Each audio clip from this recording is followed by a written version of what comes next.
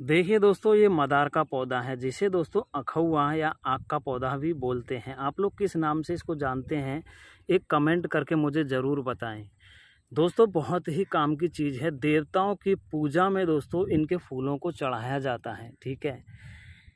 और दोस्तों, इनके जो पत्ते होते हैं, जैसे कि घुटनों में दर्द रहना, जोड़ों में दर्द रहना, अचानक से दर्द उठ जाता है कभी कभी ठीक है, हड्डियों में या घुटनों में, जोड़ों में। तो दोस्तों, इसके पत्ते पर सरसों का तेल और हल्दी लगा करके थोड़ा सा सेक करके और बाँध लें, ठीक है। दोस्तों, एक ही बार में आप लोग इसका असर देखेंगे।